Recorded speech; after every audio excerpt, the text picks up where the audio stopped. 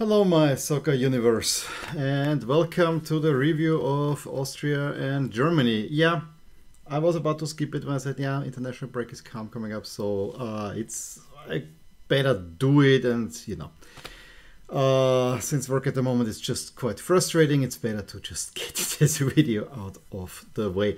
There's anyway, I mean, uh, in a way, uh, not much has happened, especially in Austria, uh, where you know I think Austria will be on the top level a carnage for second spot between four teams uh, and it's basically whoever gets uh, to play Salzburg will go down and whoever gets to play Klagenfurt will move up and so it happened this time to time again and then there will be a whole lot of draws so um,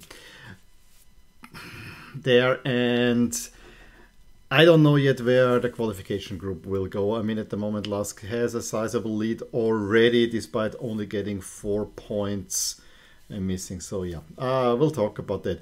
In Germany, I gotta say, uh, the most interesting part there is, um, yeah, uh, it's typically Dortmund. Um, one day, maybe that's Adler. No, there's not. Uh, so this uh, talk back and forth into no title race. But I think that the relegation uh, really, really got fire fired up, and it's one Felix Magath, who was not even on the bench, that more or less turn around at Hertha. You see them up there. He's getting a huge win over Hoffenheim, which came a little bit out of nowhere. So uh, and also with Stuttgart coming back to win it all, uh, to uh, to win the game, not not win win win, win it all. Uh, two teams that uh, just a couple of weeks ago I said they might be down. They're actually gaining now the momentum to get themselves out of the trouble, at least momentarily. But I would say uh, very briefly Austria. I, already said I mean the one game that I watched was Lask's nil nil against Hartberg, where yeah, if you convert, if you don't convert your chances, you're not gonna get points. Hartberg was just too weak. Clearly, uh, you were tired from uh, playing Slavia Prague, blah blah blah. But it shouldn't be really an, an excuse.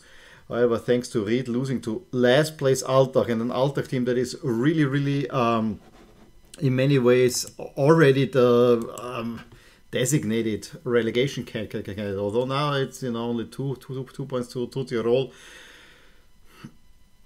It's a big loss for Ried. So uh, Lask have now a two-point lead over Ried, and they will play the derby uh, the after the international break. So that might actually uh, big this pre-decider of who will play those um, yeah, conference league playoffs. Up top, as I said before, um, we had Sturm Graz winning against Clark, Klagenfurt, so they're back in second spot. We had Salzburg, who ah, I didn't mention the cup. Uh, Salzburg, rather, um, I don't want to say lucky, but it was a bit fortunate to uh, get um, an equalizer at Wolfsberg. So there was two games in Wolfsberg where uh, Wolfsberg took an early lead, but Salzburg then uh, found a way way back. Maybe it deserved the equalizer and then won in the penalty shootout to make it to the final where they play against Ried. And yeah, we another title for Salz. So Salzburg gets really, really, really boring at the moment. Uh, however, the league game went completely the other way. I mean, Salzburg just steamrolled Wolfsberg in every uh, way. It was 3 0 at the halftime. I, There's not, not much more that can be said there. And so Sturm Graz winning against Klagenfurt, and then the big Vienna Derby ends in a 1 1 tie. What do you want? Uh, early goal by Ljubicic is swiftly equalized by Djuricin, and that was that. And uh, the interesting part is that Djuricin is the son of former Rapid coach Djuricin, who actually left in kind of acrimonious circumstances. So I'm sure he was happy that his son exacted some revenge there. I think that's all I need to say about Austria. Uh, as I said, it's for the Euro for the European spots. It's very, very, very, very much a tug of war for those Europe uh, uh, between those four teams, and one of which will probably play, or two, potentially two of which could play a playoff uh, there as well. Okay, moving over to Germany, we actually started out the round with a scandal. Um, it seems almost so atypical. Ah, I didn't mention Dortmund won in Mainz. Dortmund won in Mainz. So uh, that's a big one. So you thought at that point maybe we have a title race. Nah, nah. was never gonna happen. So, uh, having said that, we start out with the scandal that uh, very atypically German, German uh, beer cup is thrown. So they are wasting beer now in Germany. Uh, at the Bochum Gladbach game, and it was 2 0 for Gladbach. And Bochum actually tried to rally it up. Uh, the beer uh, cup hits the linesman on the back of the head, which is automatic suspension of the game. And Bochum actually even said before the game, please do not throw. Please do not throw because objects have been thrown. Uh, so this has been a problem that has been identified by, by the club but they couldn't really police it, which I find uh, really, really so sorry. I mean, the linesman had to go go to the hospital. At, at first, you thought, yeah, maybe he makes it, but seemingly, you know, head injuries, not, nothing play uh, with. At the moment, I have not accounted for this um, for the result of of these games in any of my calculations um, that I will mention. However, uh, I would be dumbfounded if that game is not a 3 0 for Gladbach. So uh, that's that. Uh, as I said, uh, rele- relegation. I a little bit regret not wa- watching the German Bundesliga conference because there was actually quite some action. But I saw the lineup and thought, nah, it's not really that. But uh, Augsburg twice had the lead uh, with um, um, uh, 44th minute equalizer and then Gregoritsch immediately, just for her, turns into 2 2 for Augsburg. But Stuttgart again, they already came back against Gladbach 2 2 down. They do it, do it again in the 79th and in the 85th turn, turn, turn, turn, turn around. So a big win for Stuttgart, and they get for the first time in a long time out of the relegation zone with, with, with the win.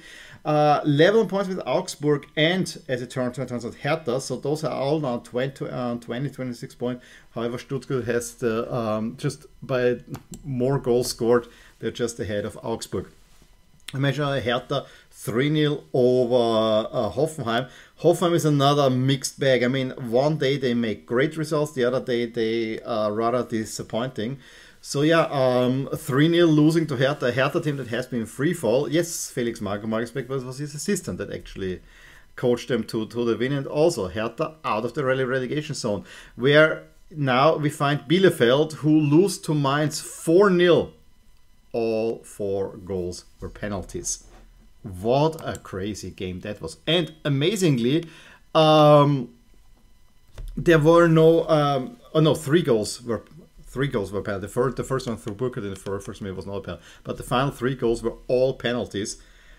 And Mainz have not missed a penalty in like forever. This is another one of those crazy, crazy stories. And Bielefeld, who I thought just a month ago looked rather safe, and that's why I actually want to go for a jersey of theirs, uh, look now in deep trouble. I still like that one jersey. However, uh, they are definitely in trouble at this very, very moment. Um, and another relegation candidate, although I think it's a little bit too late, uh, Greuther Fürth get a nil-nil against Freiburg, which hurts Freiburg a whole lot more because I, despite them having given Le- Le- Leipzig a run for the money, I just don't think that Freiburg can hold it with Le- Leipzig with both teams at 45 points. Bayern though, and I'm wearing Bayern not because they are the um, the best team from the from this weekend. I actually actually Bayern should be a, with the Ukraine jersey, but I thought uh, the way the jerseys work work out is best if I um, wear this Bayern shirt in many ways. Not that I like like doing, but uh, like a machine, Level Lewandowski keep, keeps on piling on two more goals. Think he is now a. Um, 11 shy of beating his record, so that might actually be happening. And as I said, Union also have been a little bit going downwards as of late. And there were quite quite a few games on Sunday where uh, Leipzig also uh, was a labored uh, um, draw between Leipzig and Frankfurt, but uh, Frankfurt also gaining a little bit of steam. Leverkusen no trouble with uh, Wolfsburg 2 0, and then Köln and Dortmund play out entertaining 1 1 draw where Dortmund definitely should have scored a few more goals and maybe get the win, but it's um, Köln. Who again with their high intensity. Köln is at the moment a really, really fun team to watch. It was 1 1, and then um, they dug in, they fought it. It could have gone either way. I think the draw maybe overall is deserved, although the chances were a little bit more with Dortmund. And so, yeah, the teeny bit of chance. We see again six points between Dortmund and Bayern up top, so that's decided. I even think that the top four at the moment are, are, are the top four. Uh, Leverkusen 89%, Leipzig 70%. It's only small chances. Freiburg with 17 and Hoffenheim with 21 to make it into the Champions spot. And then, you know, few minuscule ones with Köln, Frankfurt, Union, and Mainz. But I don't really see it. But those are the only ones that can have hopes for Europe. Everything below that and starts with Bochum. And I think Bochum still is safe. That are in the relegation battle, which really, really gets tight. I mean, up until Gladbach with 30, um, it seems kind of and then 26, 26, 26, 25. It's four teams for one relegation spot and one that uh, one in the um, playoff. At the moment, Bielefeld don't look right and that's a little bit pity because uh, it's definitely one of the, the second smallest cup. Fürth is the, the smallest cup, so there is a little bit sympathy for me going towards them and also having them having uh, quite a few uh, Austrian players and also a former LASK player in there. So yeah, that's what it from me from Germany. Please let me know what you thought about um, the happenings in, in this league. Um, as I said, the title race is off, and it's more or less about relegation in Germany. Um, again, give me a thumbs up if you enjoyed this video, subscribe to my channel if you want to see more videos like these, and I will talk to you soon. Bye.